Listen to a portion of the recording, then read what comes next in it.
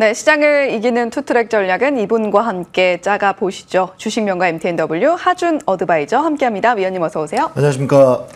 네, 위원님 어제 또 간밤에 미국 시장이 3대 지수 모두 오름세로 마무리를 했어요. 우리 시장 조금 기대를 하게 되는데 그렇죠. 어제 시장에서 어떤 섹터 좀 주목을 하셨는지 궁금합니다. 네, 일단 뭐 어제 시장에 뭐 많은 섹터들이 좀 주목을 많이 받았죠. 뭐 웬만한 주요 기업들, 뭐 반도체, 2차 전지, 자동차가 요즘 좀 눌려 있는 듯 싶었던 종목들의 반등이 좀 나왔다 보니까 약간은 좀 희망찬 시장이지 않았나라는 생각이 들어요. 근데 또 이렇게 한마디로 좀 정리해 보면 좋을 것 같아요. 시장 시장은 상승을 했습니다만 체감은 좀 그닥이었다라는 이야기를 좀 해드려야 될 것 같은 게 어쨌든 시장 지수가 상승했던 점은 삼성전자라든가 뭐 시가총액 상위 종목들의 반등이 있었기 때문이었고 그러다 보니까 좀 눌려있던 중소형 종목들도 일부 반등은 했습니다만 여러분들이 원하는 엄청난 극적인 상승이 좀 나오기에는 좀 제한적이지 않았느냐라는 좀 이야기를 먼저 해드려야 될 것 같습니다. 그래서 제가 여기에서 좀 말씀드리고 싶은 건 어쨌든 이 삼성전자에 대한 순매도 행렬이 멈췄다라는 거 뭐 앞서서 이야기 다 들으셨겠지만 그런 부분들과 거기에서 또 추가적으로 확인해 볼 수 있는 이 시장에 대한 불확실성들 이런 것들이 또 어떻게 좀 해소가 되느냐에 따라서 우리나라 증시에 과연 어제의 반등 상승이 또 연속성을 가지고 움직일 수 있는지 그걸 또 한번 오늘 체크해 보는 시간이 좀 되었으면 좋겠다 이런 말씀 좀 드려야 될 것 같아요. 그리고 또 이런 부분들이 해소가 되어야만 어제 여러분들이 시장을 체감하는 데 있어서 그닥이다라고 느꼈던 이유가 결국엔 거래대금 때문이거든요. 그러니까 시장의 거래대금이 회복되지 않다 보니까 시가총액 상위 종목들한테 수급이 쏠리면 되면 끝나는 거예요. 그러다 보니까 지금 최근에 위축되어 있는 시장의 거래 대금이 얼마만큼 빠르게 회복이 되느냐, 이게 또 매우 중요한 포인트가 될 것 같고, 그리고 이 거래 대금이 회복되기 위해서는 결국엔 다음 주 미국 대선 아니면 또 이번 주에 주요한 종목들의 실적들 또는 뭐 금투세 시행 여부 등에 따라서 이 거래 대금의 회복 여부가 좀 갈릴 것으로 예상이 되다 보니까 그런 불확실성들 재료들이 해결되고 확인되기 전까지는 조금 조금씩 계속해서 좀 아, 흐름을 좀 지켜봐야 될 것 같다 말씀 좀 드리도록 하겠습니다. 하겠고요. 어쨌든 지금 우리 증시 같은 경우에는 좀 중요한 자리에 놓여 있다라고 보셔도 될 것 같아요. 나름대로 저점에서부터 반등하는 흐름 중에 코스피 증시도 중요한 자리를 좀 지켜내고 있는 모습들이 나오고 있다 보니까 이런 부분들 속에서 여러 가지 섹터들과 업종들 한번 지켜보셨으면 좋겠다. 그래서 거기에서 낙폭과대 섹터인 저는 2차 전지 쪽을 한번 주목해 보셔도 좋다. 이렇게 말씀드리고 싶은 건데요.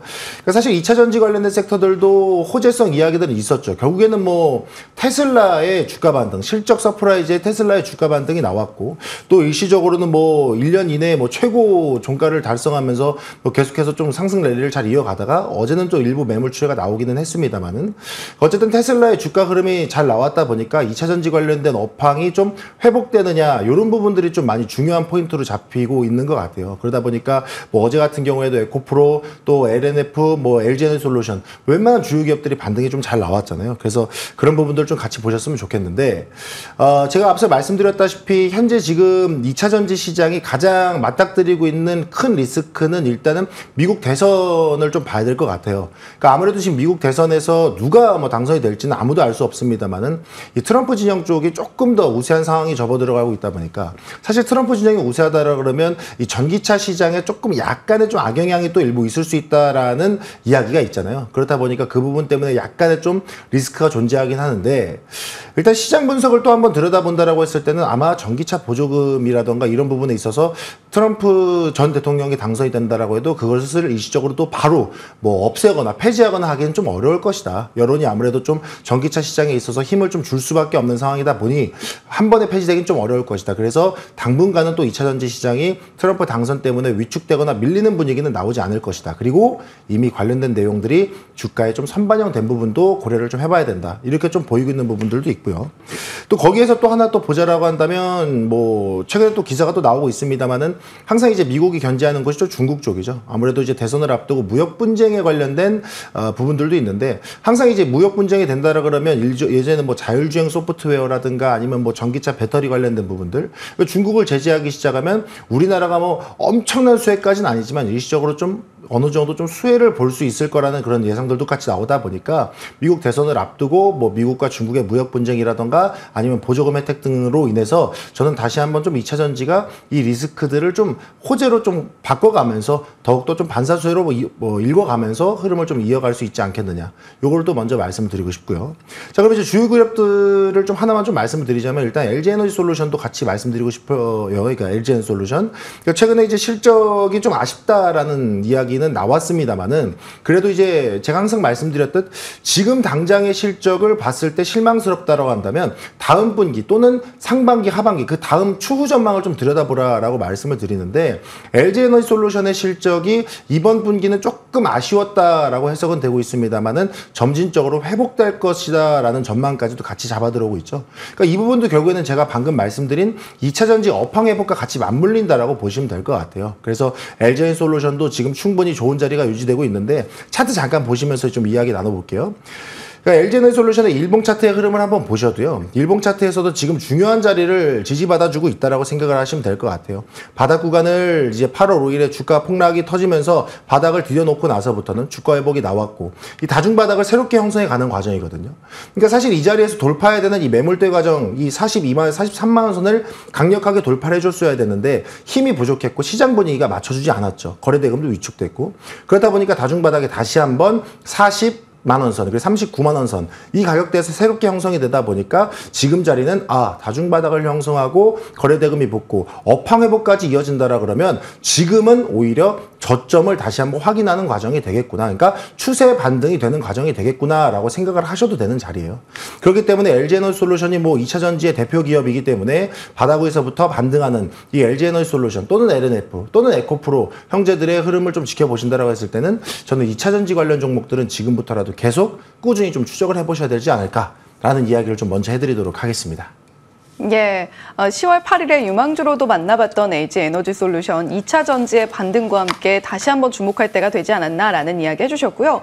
저 위원님 그리고 저희가 한번 더 체크를 해볼 만한 종목이 바로 한농화성인 것 같아요. 이 종목 같은 경우는 아, 저희가 2차 전지의 반등과 함께 계속해서 주목해볼 만한 아, 이유가 충분히 있겠죠. 그렇죠. 그러니까 아무래도 이제 한농화성을 제가 지난 방송에서도 좀 언급을 한번 드렸었어요. 그러니까 2차 전지 시장이 살아나기 위해서는 꿈의 배터리 전고체에 대한 이슈가 계속 나올 수밖에 없습니다. 왜?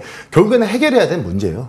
그러니까 전기차가 장거리를 달리고 전기차 화재에 대한 부담을 줄이기 위해서는 이 전고체 배터리에 대한 개발이 계속해서 이루어져야 되는데 관련된 이슈가 터져 나왔기 때문에 제가 한농화성에 대해서 그러니까 전고체 관련된 종목에 대해서도 꼭 주목을 해보셔라 말씀드렸었단 말이죠. 한농화성도 차트 보면서 바로 좀 이야기를 해보도록 할게요. 그러니까 한농화성 같은 경우에도 지금 자리가 아주 괜찮은 자리죠. 그러니까 8월 5일에 주가 폭락이 나왔다가 박스권 흐름을 그대로 유지하고 있는데 제가 지난번에 여러분들은 제시드렸던 자리가 이 자리예요. 그러니까 나름대로 바닥을 딛고 반등이 나올 수 있는 자리. 근데 이제 당일날에는 갭상승 흐름 가져갔다가 차익매물 맞으면서 눌러가는 자리였단 말이죠. 근데 확대해서 다시 한번 보여드리면 지금 자리에서 바닥을 정확하게 다시 잡아주고 있어요. 그러니까 60일선을 그냥 그대로 안착하면서 흐름을 만들어가고 있다는 거죠. 근데 어제 2차 전지 관련주의 반등이 나왔고 주요 종목들의 흐름이 잘 나왔다라 그런다라고 한다면 지금 이렇게 60일선 안착하는 부분은 충분히 바닥 따지고 다시 반등할 자리를 모색할 것이다. 그러면 이전에 도전했던 고점 돌파, 그러니까 저항대 돌파를 위한 요 밴드 돌파의 시도를, 그러니까 재시도를 할 가능성이 높다라는 거죠. 그러면은 이미 수차례 계속해서 상단을 돌파하기 위한 흐름을 만들어냈기 때문에 이번에 다시 한번 2차 전지 관련된 업황 회복이 나온다라 그러면 한농화선 충분히 지금 22,500원 대 상단 돌파 가능성 충분히 있다. 그래서 제가 목표가로 제시드렸던 가격대도 22,500원대이다 보니까 여러분들이 혹시라도 요 종목을 함께하고 계신 분들이 있다라고 한다면 요거는 또 AS 개념으로서도 충분히 홀딩하셔도 좋은 종목이니까 한번 끝까지 한번 추적해 보셨으면 좋겠다. 이렇게 말씀드리도록 하겠습니다. 예, 앞서서 LG 에너지 솔루션과 함께 한농화성까지 저희가 만나봤던 종목들 아, 살펴볼 겸 어제 시장에서 주목할 만한 종목들도 한번 짚어봤습니다. 자, 위원님과 함께 만나봤던 종목들 AS로 이어가 보도록 하겠습니다. 이번에는 아, 네오셈 이야기 좀 해볼까 하는데 앞서서 2차 전지 이야기를 좀 꼼꼼하게 다뤄주셨다면 이번엔 반도체입니다. 이 종목은 10월 22일도 유망주로 공개를 해주셨던 종목인데 선제 타격 종목이었어요. 네, 맞습니다. 그러니까 이 아까도 말씀드렸다시피 조금 유망 있게 보셔야 되는 업종 반도체랑 2차 전지를 좀 보셨으면 좋겠다 말씀드리는 건데 사실 네오셈도 똑같습니다. 요즘 아마 여러분들 반도체 관련 기사 보시면 이 CXL 관련된 이야기를 빼놓을 수가 없어요. 아무래도 삼성전자가 SK하이닉스를 따라잡겠다고 CXL 시장의 점유율을 좀 높여가는 부분들이 있다 보니까 이 네오셈이 계속 부각이 되고 있죠. 아무래도 장비 공급하는 거에 대한 모멘텀이 있다 보니까 근데 이제 네오셈도 지금 자리가 저는 충분히 여러분들이 대응할 수 있는 자리다라고 보이는 거예요. 차트 한번 보면서 이야기 나눠보도록 하겠습니다. 그러니까 제가 네오셈 같은 경우에는 제가 이제 방송 중에 이제 여러분들 오후에 장 마감하고 하는 이제 내 수익을 부탁해라는 방송에서도 9월 3일경에 한번 말씀을 드렸어요. 그 이후에도 주가 상승이 좀 잘 나와줬고 나름대로 주가 상승폭을 만들어낸 뒤에 고점 돌파 안 되고 조정받는 자리에서 제가 새롭게 다시 한번 제시드렸단 말이죠.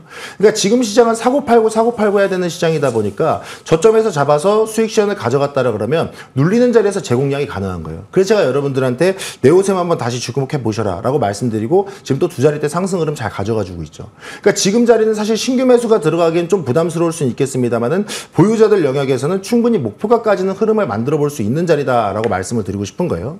그러니까 지금 자리도 보시면요. 아, 목표가 잡아드린 13,000원 구간대는 충분히 돌파가 나와야 된다는 거죠. 왜? 8월 2일과 8월 5일에 시장 흐름에 의해서 주가가 밀렸고 아직 8월 2일에 어디 시가 부분까지 회복이 아직 안 나왔다라는 거죠. 그러니까 종목의 리스크가 아니고 시장 흐름에 대한 리스크로 주가가 빠졌다라 그러면 그 자리는 일단 회복하고 봐야 돼요. 그래서 그 자리까지 회복하고 보셨을 때는 지금 자리는 충분히 홀딩 하셔도 좋다. 다만 신규 매수는 다시 한번 또 조정받는 자리가 있다라 그러면 거기서 노려보시고 만약에 보유하고 계신 분들이 있다 그러면 목표가까지는 한번 흔들어 보셔라.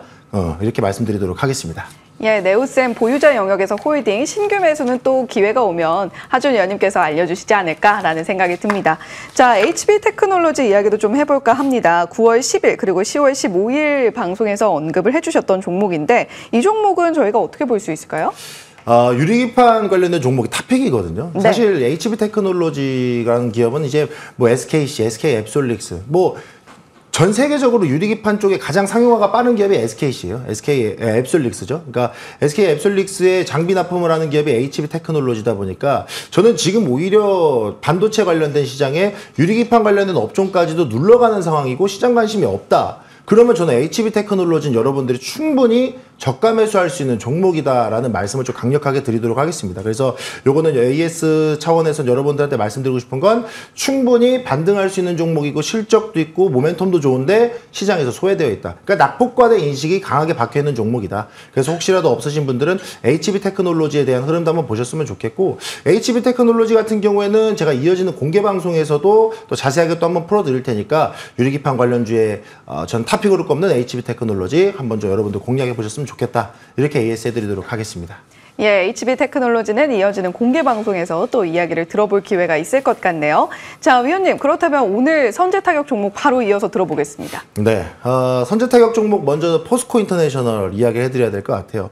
그러니까 아무래도 이제 이전에 동해 심해 가스전 관련된 종목으로 좀 많이 꼽혀 있던 종목이다 보니까 아무래도 좀 그 시세를 좀 여러분들이 수익으로 바꿔보신 분들도 있을 것 같은데 이 대왕고래 관련된 프로젝트가 2차 전략 회의 이후에는 관련된 종목들이 시세를 다 지금 조정받고 쉬어 가는 흐름이죠. 그러면 이제 대왕고래 관련된 테마의 딱지를 뗐을 때 본 사업에 대한 부분들을 누가 가장 잘 영위를 하고 있느냐를 한번 보셔야 되는데 저는 단연 포스코 인터내셔널을 이야기를 안 할 수가 없을 것 같다. 이렇게 해야 될 것 같아요. 그러니까 최근에 이제 친환경 에너지 관련된 이야기들이 많이 나오죠. 물론 뭐 미국 대선 이후에 뭐 트럼프 전 대통령이 당선되면 뭐 친환경 에너지에 대한 시장이 좀 주춤할 수 있다. 이야기는 나오지만 어쨌든 지금 미국 시장에서 천연가스 시장에 대한 부분이라든가 아니면 뭐 지속, 지속 가능 바이오유 뭐 이런 쪽에 그리고 이제 친환경 에너지, 신재생 에너지 뭐 아니면 또 뭐 재생 에너지 이쪽 부분에 있어서의 계속 신사업의 투자가 이루어지고는 있거든요. 근데 포스코 인터내셔널이 최근에 관련된 인증들을 계속해서 취득해 나가면서 신사업 확장하고 있는 부분들이 저는 강력하게 모멘텀으로 작용할 가능성이 매우 높다. 이렇게 말씀드려서 포스코 인터내셔널 한번 보셨으면 좋겠고요. 아, 이 종목 같은 경우에는 뭐 차트도 지금 현재 다중바닥 형성되고 있는 과정이다 보니까 대왕고래 재료가 아니더라도 충분히 반등이 나올 수 있는 자리이기 때문에 한번 주목해 보셔라 말씀드리도록 하겠습니다.